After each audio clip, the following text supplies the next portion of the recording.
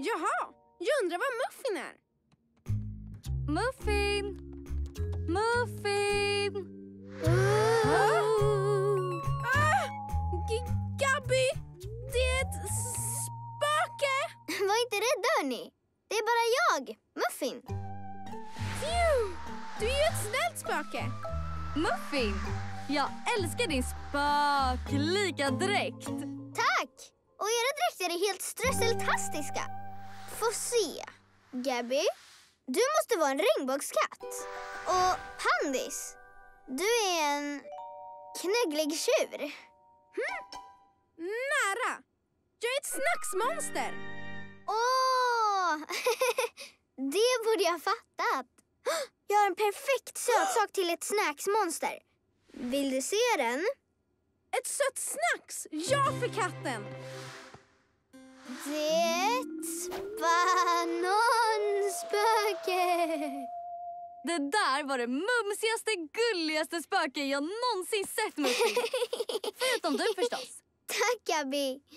Och det allra bästa med det här snackset är att ni också får göra ett. Okej, först tar ni halva bananen och trycker in en träpinne längst ner. Plopp! Det är som en bananmarionett. Sen doppar man bananen ner i skålen med vaniljyoghurt tills den är helt övertäckt. Först blir det dipp, dipp, dipp. Sen blir det dripp, dripp, dripp. Gillat! Dipp, dipp, dipp. Sen dripp, dripp, dripp. En dipp, dipp, dipp och en dripp, dripp, dripp. Sen då Muffin? Det är dags att sätta ögon på ert spöke. Men var är min skål med chokladbitar? Pandis! Hoppsan, förlåt.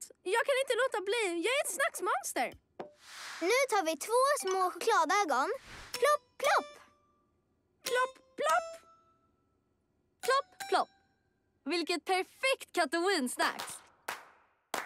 Du Muffin! Vadå? Du Muffin! Vadå? Vad gillar du med Kattoween?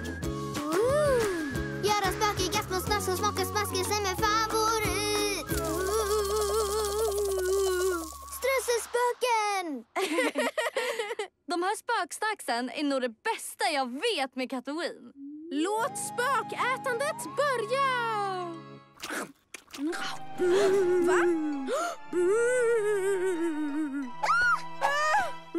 Hörni, jag tror inte att det är ett bananspöke. Jag tror att det är ett riktigt. Jag fick er igen! Ni trodde att min svans var ett riktigt spöke! Du lurade oss igen, Sprattkatt. Ja, det stämmer. Jag är traktens bästa Kattoween-skojare. Och det finns mer sånt på lager, så håll ögonen öppna. Marshalliboo! Jag älskar Sprattkatt och hans bus.